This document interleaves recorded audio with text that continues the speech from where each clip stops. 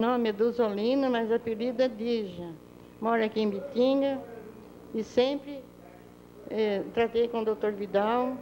Ele foi um excelente médico, tanto para mim como para meus filhos. Se a gente tinha dinheiro, consultava, se não tinha, consultava a mesma coisa, dava remédio para a gente. É um excelente médico, que Deus o tenha lá naquele céu.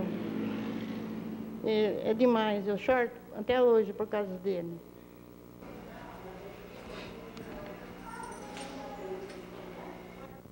Doutor William, fale um pouco de seu pai, o grande médico bitinguense, Dr. Vidal Haddad. Bom, hoje eu gostaria de aproveitar a oportunidade para lembrar mais uma vez, para poder reativar na memória das pessoas do povo de Bitinga a imagem do Dr. Vidal Haddad. Agora, no dia 8 de julho, ele completaria 76 anos e completaria 50 anos de atividade médica.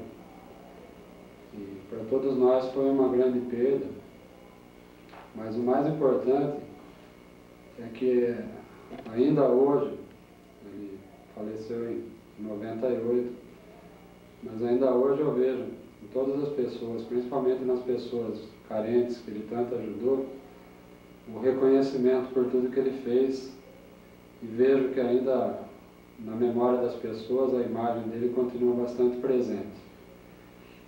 Então, é, eu preciso, eu sinto a necessidade de sempre estar homenageando meu pai, não pelo fato de ter sido meu pai, sim pelo fato de eu ser médico, e além da admiração que eu sempre tive, ele sempre foi um grande exemplo na minha vida, o fato de eu ser médico e, sentir a necessidade de, de reverenciar essas pessoas que fizeram da medicina realmente um sacerdócio.